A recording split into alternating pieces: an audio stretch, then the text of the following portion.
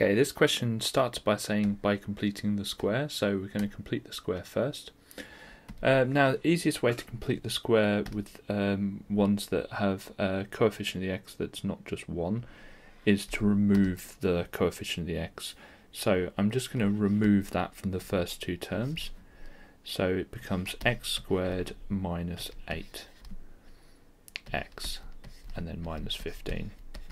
Okay, now I'm going to complete the square within the brackets. So we've got x minus 4 squared, and that creates a 16, which we don't want, so minus 16, and then minus 15. Okay, let's remove that minus 16 from it.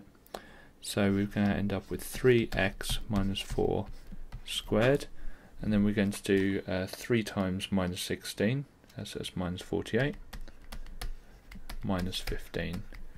Okay, last thing we're going to do is just collect those, uh, the minus 48 and the minus 15 together. So x minus 4 squared minus 63. And this should all be y equals, shouldn't it? Because it is an equation.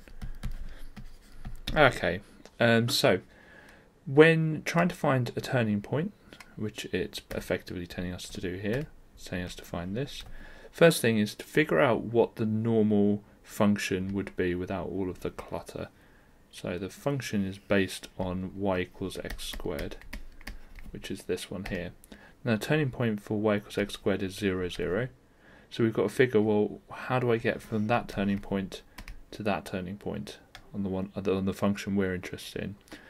Well, let's compare the two functions. So y equals x squared is just the x that's squared, but here it's x and then we're taking away 4 from within the function.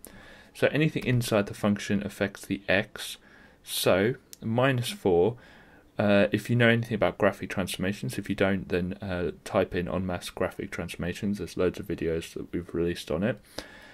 Minus 4 within the function will move it right 4. So the turning point will be at 4.